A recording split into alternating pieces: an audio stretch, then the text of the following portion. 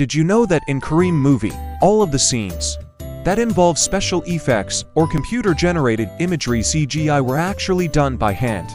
The effects team put in a lot of time to create the realistic-looking impacts that were crucial to the storyline. They even managed to pull off the fake-looking tears on the actors' faces that were supposed to happen naturally. Director Ashraf Ismail explained that they put a lot of thought into choosing the materials that they would use to create the fake tears.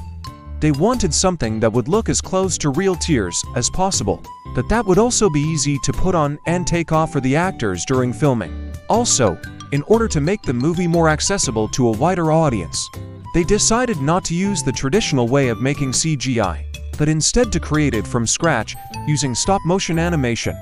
This way, the film would be less expensive to make and more enjoyable to watch.